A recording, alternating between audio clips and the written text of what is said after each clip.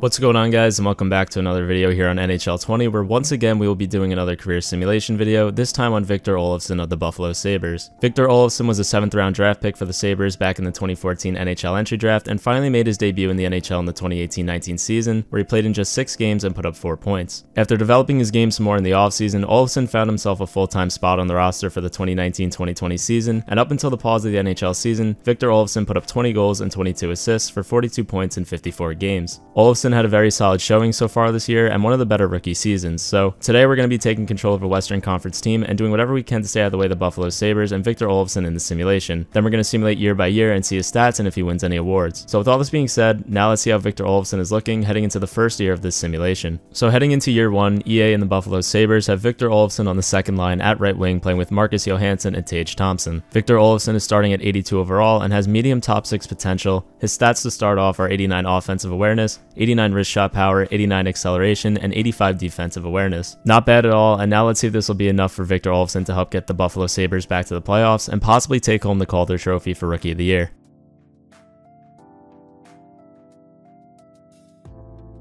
So in year number one, the Buffalo Sabres finished 8th in the entire NHL and find themselves in the Stanley Cup playoffs for the first time since 2011. The playoffs were short-lived as they fell in six games in the first round to the Tampa Bay Lightning, but at least they finally made the playoffs again, so that's good. Victor Olofsson's regular season was a very solid one as the 24-year-old scored 26 goals and 39 assists for 65 points in 80 games. And in just six playoff games, Olofsson was very present and scored a goal and four assists for five playoff points in six playoff games. Great first season in the NHL, but it still wasn't enough to take home the Calder as that went to Martin Necas of the Carolina Hurricanes. Olofsson increases to 84 overall and signs a five-year extension with the Sabres worth $6.4 million per year.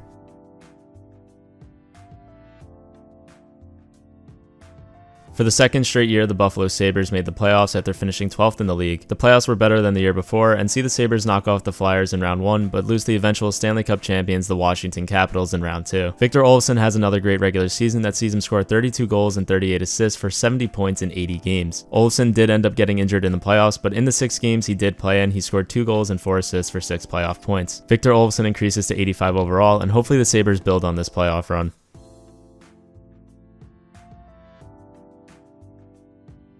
In year number 3, the Buffalo Sabres have a massive regular season and finish third in the entire NHL. The playoffs were just as good, if not better, as the Sabres go on to win their first Stanley Cup in franchise history. The Buffalo Sabres ended the seasons of Boston, Toronto, Carolina, and Edmonton on their way to Lord Stanley, and Sam Reinhart took home the Conn Smythe. Stanley Cup champion Victor Olofsson's regular season saw him score 40 goals and 37 assists for 77 points in 77 games, and in the playoffs had 17 points in 23 games. Amazing season for the Buffalo Sabres and Victor Olofsson, and with this he increases to 86 overall.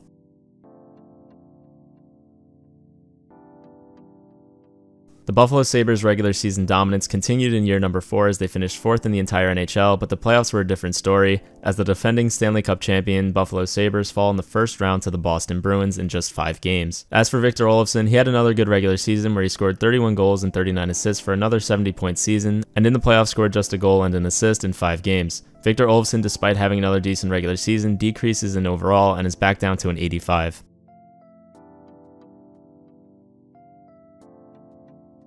Once again, the Buffalo Sabres have a great regular season as they finish third in the league, and in the playoffs go on to reclaim Lord Stanley. En route to their second Stanley Cup in three years, the Sabres knocked off the Penguins, Leafs, Devils, and Sharks, and Matiss Kivlenieks takes home the Conn Smythe Trophy. Victor Olofsson's regular season saw him fall off a bit as he scored just 22 goals and 30 assists for 50 points. Not a terrible season, but not what we were used to seeing him put up as of late. In the playoffs, he scored 3 goals and 10 assists for 13 playoff points in 21 playoff games, and with this, the two-time Stanley Cup champion drops again in overall and is back down to an 84.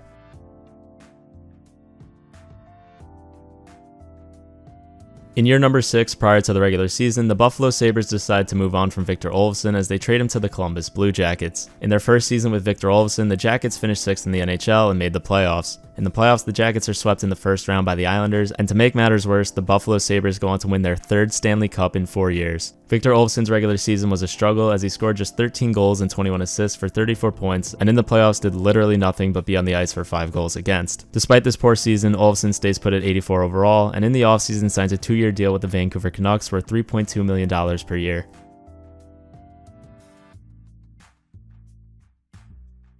Year 7 sees the Vancouver Canucks just barely sneak into the playoffs after finishing 18th in the entire league, and in the playoffs they fall in 6 games to the Colorado Avalanche. Victor Olofsson's first year with the Canucks was similar to the one he had last year as he put up just 12 goals and 23 assists for 35 points. The playoffs were a different story though as the 30-year-old scored 2 goals and 3 assists for 5 points in 6 playoff games. Not a great regular season, but a solid playoff run, and with this Olofsson again stays put at 84 overall.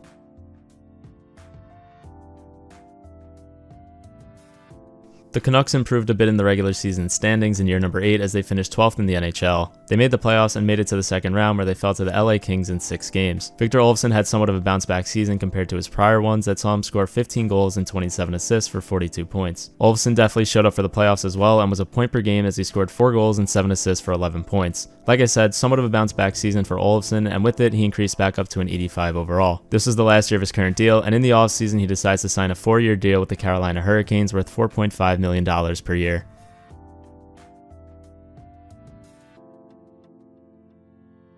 The Carolina Hurricanes, after signing Olofsson, go on to have a terrible year that sees them finish second to last in the NHL and sees Olofsson miss the playoffs for the first time in the simulation. Victor Olofsson's regular season had him play in 80 games and put up 17 goals and 29 assists for 46 points, and Olofsson increases in overall again and is back up to an 86.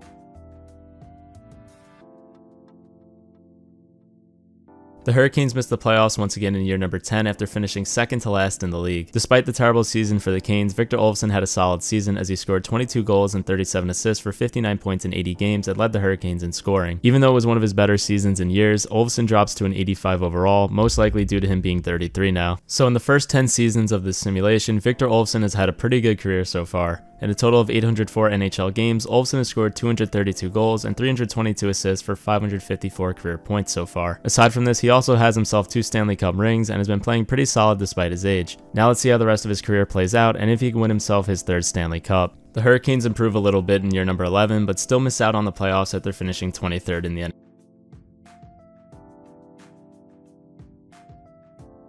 The Hurricanes improve a little bit in year number 11, but still miss out on the playoffs after finishing 23rd in the NHL. Victor Olofsson was playing really solid, but got hurt and missed almost half the season. In a shortened 56 game season for him, he scored 10 goals and 32 assists for 42 points and stays put at 85 overall.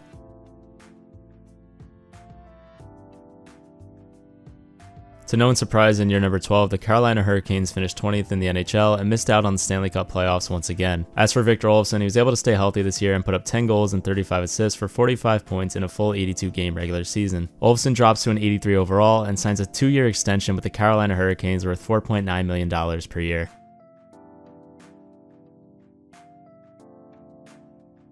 Year 13 sees the Canes have another mediocre season and finish 24th in the league and miss the playoffs once again. Victor Olofsson in 80 games scored 23 goals and 27 assists for 50 points on the year. Not a bad season, but with him getting older, he drops an overall again and is now down to a 79 heading into the final year of his contract.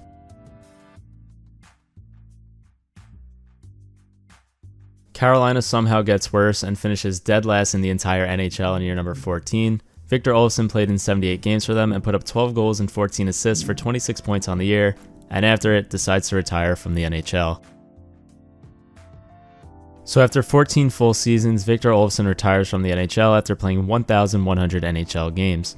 Over those 1,100 games, Olofsson scored 287 goals and 430 assists for 717 career points. Victor Olofsson was also a big part of two Buffalo Sabres teams that went on to win the Stanley Cup twice, and this definitely was the highlight of his career. So there you have it, Victor Olofsson's career simulated on NHL 20. I hope you guys enjoyed. Please like the video if you enjoyed it, and let me know who you guys would like to see next. As always, thank you guys so much for watching. Thank you for 6,000 subscribers, and I will see you guys next time. Peace. All right, so one more thing I forgot to mention is my Twitter and Twitch channels. Occasionally I'll put out a preview on Twitter of one of my upcoming videos, so if you're interested in things like that, feel free to leave a follow there. All the ats and uh, links will be in the description and on screen. So like I said, if you're interested, follow me there. As for Twitch with the whole quarantine stuff going on, I'm thinking of streaming, so again, follow me there as well if you want to see some live streams. Also, huge thank you to Man of the Writ for the Twitter and Twitch channel art, so make sure to check him out as well.